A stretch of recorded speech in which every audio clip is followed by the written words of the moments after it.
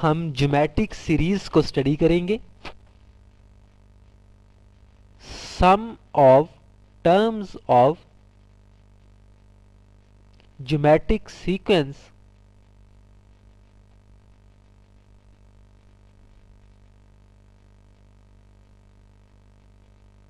is called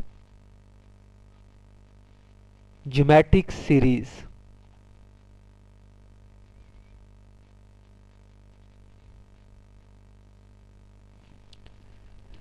किसी geometric sequence की जो टर्म्स होंगी, उनके सम को हम ज्योमेट्रिक सीरीज़ कहेंगे।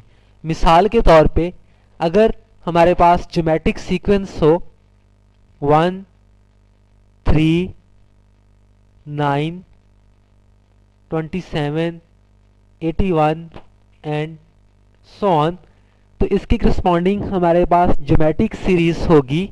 One plus three plus nine plus twenty seven plus eighty one up to so on actually जब हम बात करते हैं सम ऑफ़ एन टर्म्स की तो हम एक नोटेशन यूज़ करते हैं एस एन जो कि डिनोट करती है sum of n terms of a sequence तो ज्योमेट्रिक सीरीज़ में ये हो जाएगा s n is equal to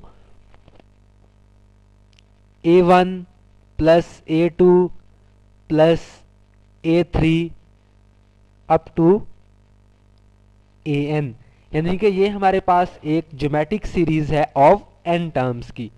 तो in case of geometric series हो जाएगा s n is equal to a one वैसे ही ए टू को इस तरीके से लिखा जा सकता है।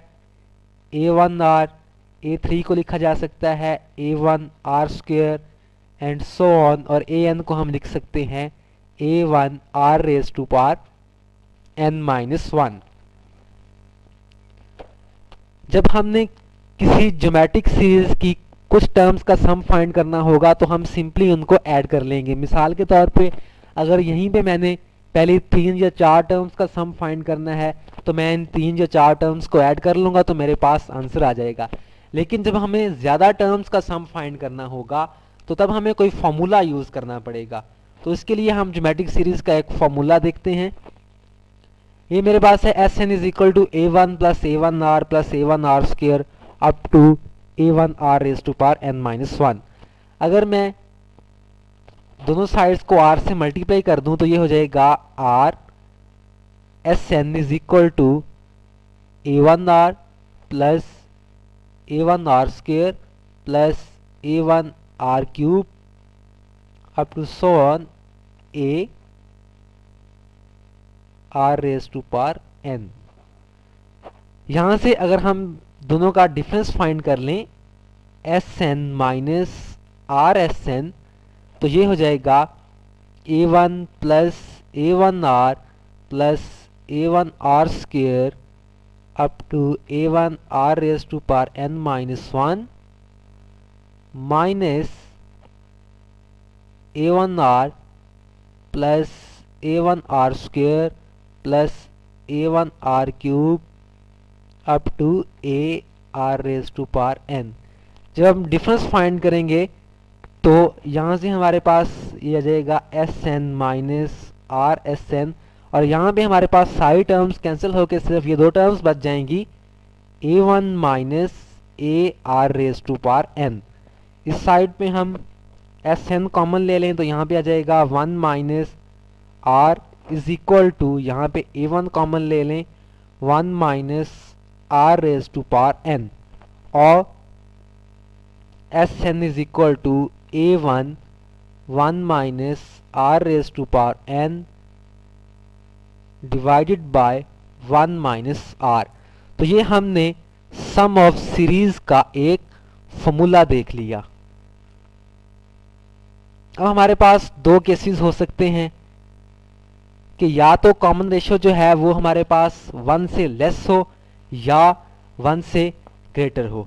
जब हमारे पास कॉमन रेशियो वन से लेस होगी r is less than one तब हम ये वाला फॉर्मूला यूज़ करेंगे।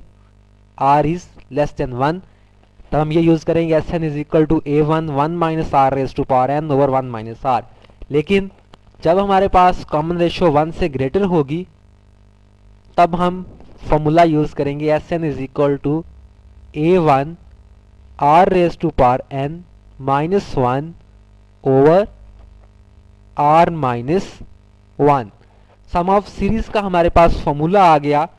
इन फॉर्मूलाज को यूज़ करते हुए हम कुछ एग्जाम्पल्स को सॉल्व कर लेते हैं।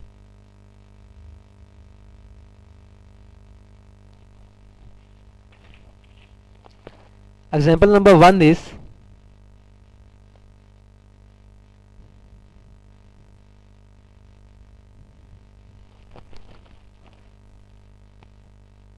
a man deposit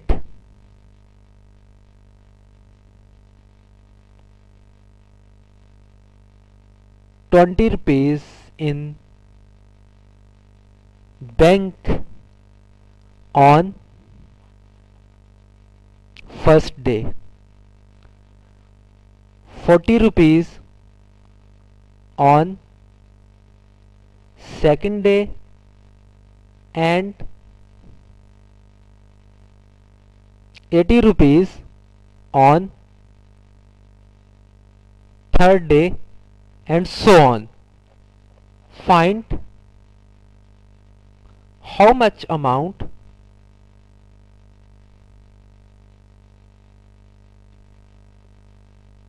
he will have after 7 days. एक पर्सन है जो कि एक पहले दिन बीस रुपए बैंक में जमा करवाता है, अगले दिन चालीस रुपए, अगले दिन अस्सी रुपए और सिमिलरली जमा करवाता जाता है हमने ये बताना है कि सात दिन तक उसके अकाउंट में कितने पैसे हो जाएँगे यहाँ से अगर हम एक सीक्वेंस बनाएँ तो सीक्वेंस हमारे पास हो जाएगा twenty forty eighty and so on हमने सेवन डेज़ का बताना है। तो हम फॉर्मूला यूज़ करेंगे सम ऑफ़ सीरीज़ का। सम ऑफ़ सीरीज़ का फॉर्मूला यूज़ करने के लिए हमें तीन चीज़ों की ज़रूरत होती है। पहली फ़र्स्ट टर्म ए वन जो कि हमारे पास है। ट्वेंटी दूसरा कॉमन रेशो वो हम फाइंड कर लेंगे। Forty over twenty which is equal to two तीसरा हमारे पास एन चाहिए n is equal to seven sum of series का हम फॉर्मूला यूज़ करेंगे। R is greater than one तो हमारे पास फॉर्मूला होगा। S n is equal to a one r raise to power n minus one over r minus one first term हमारे पास है twenty into two raise to power seven minus one over two minus one तो ये हमारे पास हो जाएगा S seven is equal to twenty into two raise to power seven is one twenty eight minus one और twenty multiplied by one twenty seven is equal to two thousand five hundred and forty so seven days के बाद उसके bank में bank account में two thousand five hundred and forty rupees हो जाएँगे। एक और एग्ज़ाम्पल हम देखते हैं। Example to find sum of series 27 plus 9 plus 3 up to so on, up to seven terms हमने सेवन टर्म्स तक इस सीरीज़ का सम फाइंड करना है। सम ऑफ़ सीरीज़ के लिए हमारे पास फॉर्मूला होता है S n is equal to a one into one minus r raise to power n over one minus r given that r is less than one. यहाँ से हम देख लेते हैं हमारे पास इस सीरीज़ में first term a one is equal to twenty seven, r is equal to one by three, and n is equal to seven, क्योंकि हमने सेवन टर्म्स तक सम फाइंड करना है। R is less than one तो हम ये वाला formula use करेंगे।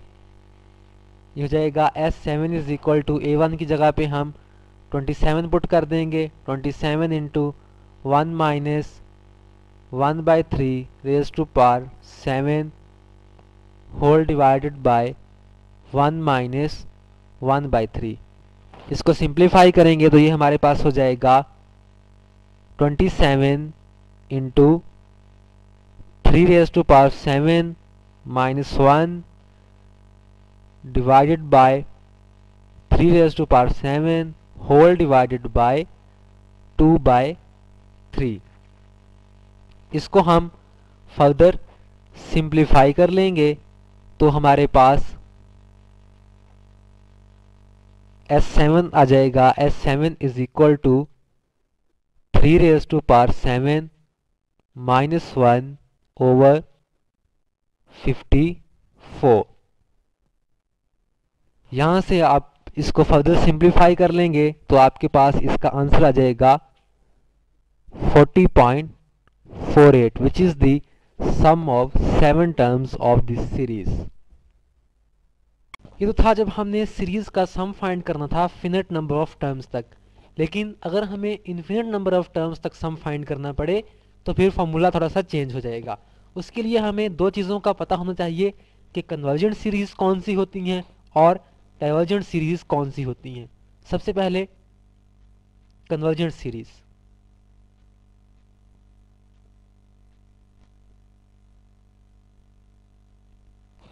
convergent series when an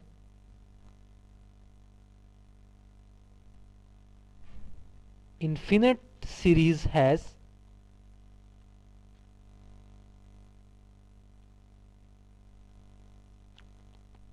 finite sum जब हमारे पास किसी इन्फिनिट सीरीज़ का सम फिनिट होगा तो वो हमारे पास कन्वर्जेंट सीरीज़ होगी। और डाइवर्जेंट सीरीज़ डाइवर्जेंट सीरीज़ हमारे पास ऐसी सीरीज़ होगी, यानी कि जब हमारे पास इन्फिनिट सीरीज़ का सम भी इन्फिनिट होगा तो वो सीरीज़ डाइवर्जेंट सीरीज़ होगी। When an infinite series has infinite sum.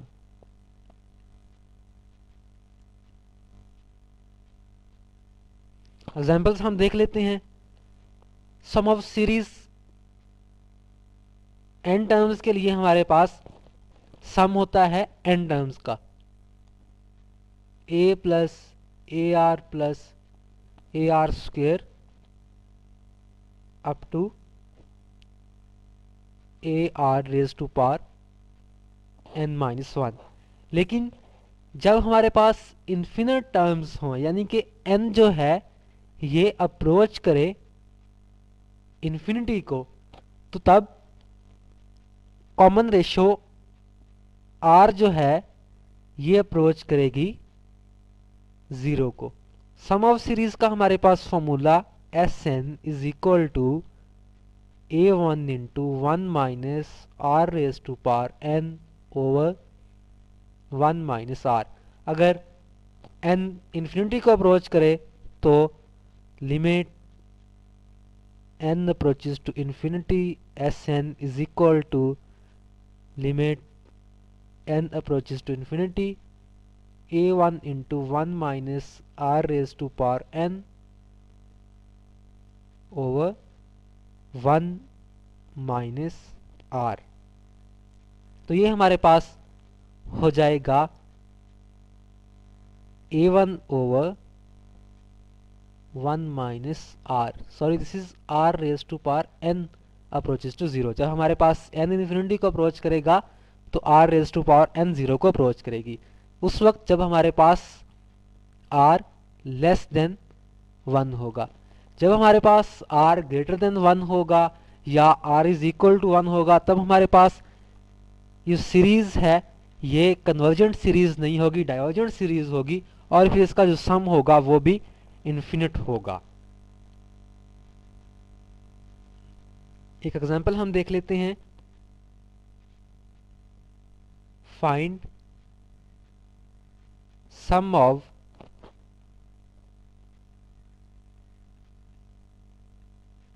infinite geometric progression 2 1 1 by 2 and so on. हमने इन्फिनिट नंबर ऑफ़ टर्म्स का सम फाइंड करना है। फ़र्स्ट टर्म हमारे पास a one is two r हम फाइंड करेंगे common ratio r is one by two चूँकि r हमारे पास लेस देन वन है तो सीरीज़ जो है, ये कन्वर्जेंट सीरीज़ होगी। हम इसका सम फाइंड कर सकते हैं। हम फॉर्मूला यूज़ करेंगे। S n is equal to a one over one minus r values put कर देंगे ए वन की जगह पे। टू आर की जगह पे one by two one minus one by two तो हमारे पास रिज़ल्ट आ जाएगा। Two multiplied by two which is equal to four इसी तरीके से हम किसी भी सीरीज़ का इन्फिनिट नंबर ऑफ़ टर्म्स तक सम फाइंड कर सकते हैं। कंडीशन ये है कि वो सीरीज़ हमारे पास कन्वर्जेंट सीरीज़ हो डाइवर्जेंट सीरीज़ ना हो। इस लेक्चर में हमने ज्योमेट्रिक सीरीज़ को स्टडी किया। किसी ज्योमेट्रिक सीक्वेंस में सम ऑफ़ टर्म्स को हम ज्योमेट्रिक सीरीज़ कहते हैं। मिसाल के तौर पे ये हमारे पास एक सीक्वेंस है तो उसके करस्पॉन्डिंग ये हमारे पास एक सीरीज़ फिर हमने देखा कि अगर हमने कुछ टर्म्स तक सम फाइंड करना हो तो सिंपली हम उन टर्म्स को ऐड कर लेंगे। लेकिन ज़्यादा टर्म्स को, ज़्यादा टर्म्स तक सम फाइंड करने के लिए फिर हमने एक फॉर्मूला देखा। S n is equal to a one one minus r raise to power n over one minus r if r is less than one और r is greater than one के लिए थोड़ा सा फॉर्मूला चेंज हो गया। फिर हमने एक एग्ज़ाम्पल सॉल्व की कि एक पर्सन जो है, वो बैंक में ट्वेंटी रुपीज़ डिपॉजिट करता है पहले दिन फोर्टी रुपीज़ दूसरे दिन एटी रुपीज़ तीसरे दिन और हमने ये बताना था कि सेवन डेज़ तक उसके अकाउंट में कितना बैलेंस होगा। तो वो हमने सम ऑफ़ सीरीज़ का फॉर्मूला यूज़ करते हुए क्वेश्चन सॉल्व किया। फिर हमने एक और एग्जांपल सॉल्व की सम ऑफ़ सीरीज़ की। सेवन टर्म्स तक हमने सीरीज़ का सम फाइंड करना था। फिर हमने देखा कि जब हमारे पास इन्फिनिट नंबर ऑफ़ टर्म्स आएँगी तो फिर हमारे पास दो कॉन्सेप्ट होंगे कन्वर्जेंट सीरीज़ का और डाइवर्जेंट सीरीज़ का।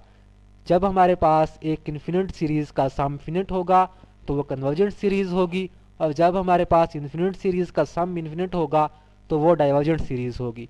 कन्वर्जेंट सीरीज़ के लिए हमने फिर सम ऑफ़ सीरीज़ का एक फॉर्मूला देखा S n is equal to a one over one minus r इस फॉर्मूला को यूज़ करते हुए फिर हमने एक एग्ज़ाम्पल को सॉल्व किया।